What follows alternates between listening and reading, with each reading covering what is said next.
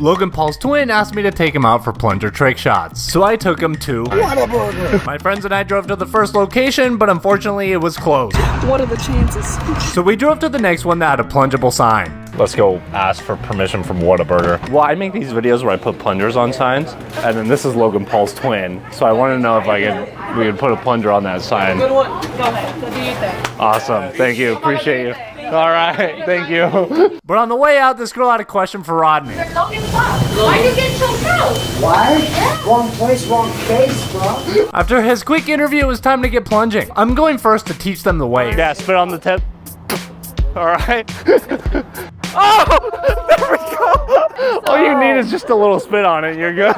Next up is Ryan, and he's practically as good as I am. And finally, it's Rodney's turn.